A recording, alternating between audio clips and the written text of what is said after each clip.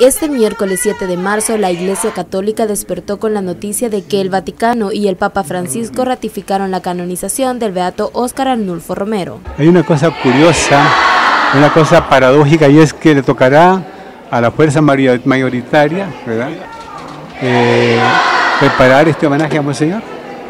Como quien dice, que quedan reconciliarse con él quienes no le entendieron o quienes le combatieron durante su ministerio. Creo que es un bonito momento para quienes estaban lejos de él, quienes lo condenaron sin escucharlo, quienes lo combatieron, quienes hicieron fiesta cuando lo mataron, y poder ahora ponerse en paz con él.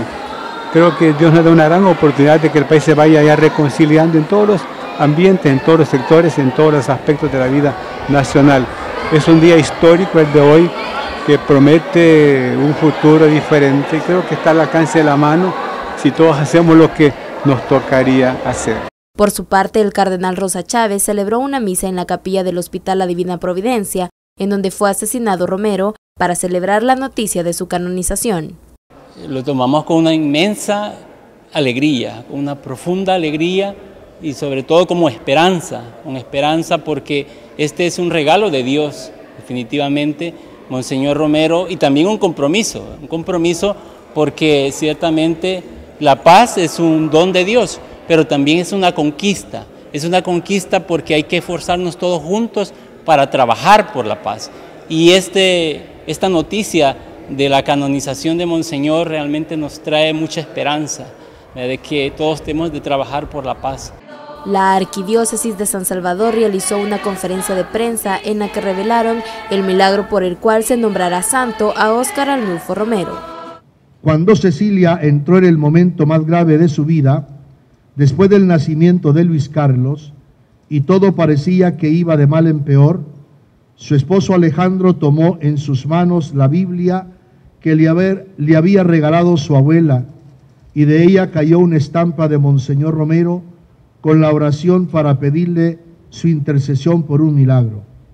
Él comenzó a hacerla y pidió a los hermanos de su comunidad del camino neocatecumenal que se unieran todos los días para orar por un milagro, por la intercesión del beato Oscar Romero, obispo y mártir. Así lo hicieron todos con fe. El fruto de ello es que Cecilia salió pronto del coma y hoy agradece a Dios y al beato Romero por su salud y la vida de Luis Carlos. Desde entonces nos unimos a la alegría de esta familia Riva Flores y hoy damos gracias a Dios por la noticia de la pronta canonización del Beato Oscar Romero, obispo y mártir. La iglesia aún desconoce el lugar y la fecha donde se realizará la canonización, pero aseguran que ya solicitaron al Papa Francisco sea en El Salvador, ya que Romero era el defensor de los pobres. Hemos mandado esa carta de la que hacíamos alusión últimamente. El señor Nuncio vino el domingo, ha estado en Europa y personalmente entregó la carta al Papa donde le hacíamos de nuevo la invitación y la petición de ser posible que aquí sea la, canonización de Monseñor Romero.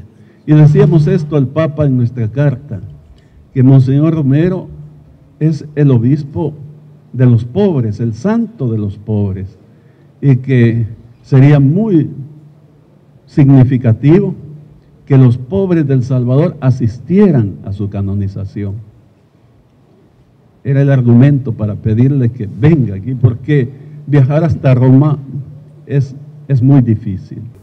Informó para la prensa gráfica.com Melissa Rivera.